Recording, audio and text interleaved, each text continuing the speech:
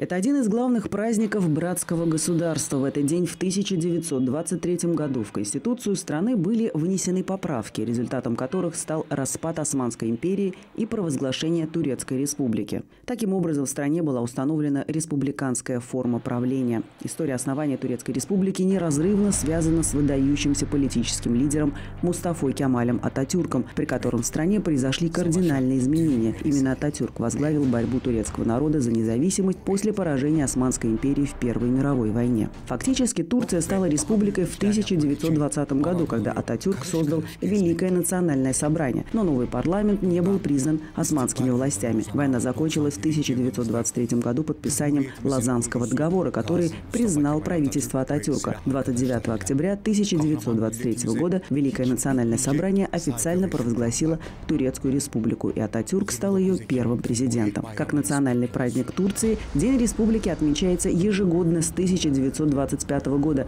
Традиционно праздничные церемонии проходят по всей стране и в зарубежных представительствах Турции. На зданиях правительственных учреждений, учебных заведений вывешивается государственный флаг страны, в школах проходят торжественные мероприятия, а на улицах праздничные шествия.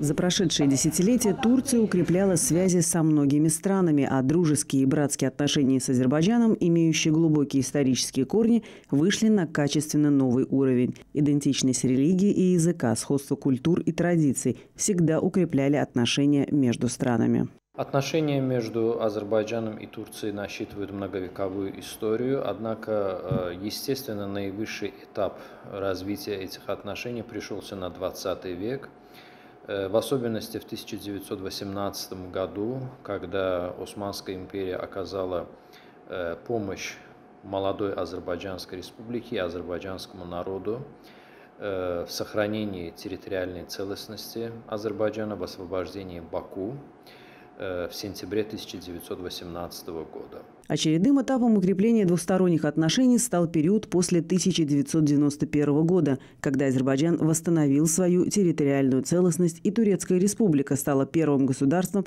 признавшим независимость Азербайджана.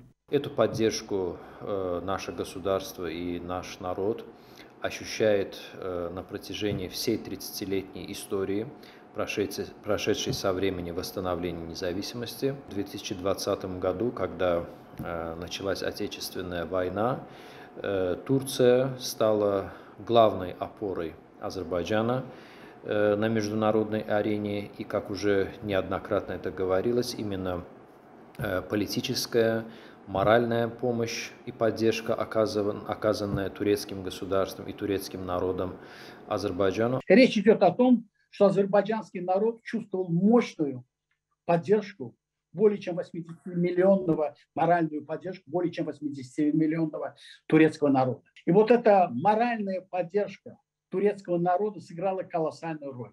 И я хочу сказать, главные составляющие этой поддержки были, это, конечно, тандем двух президентов.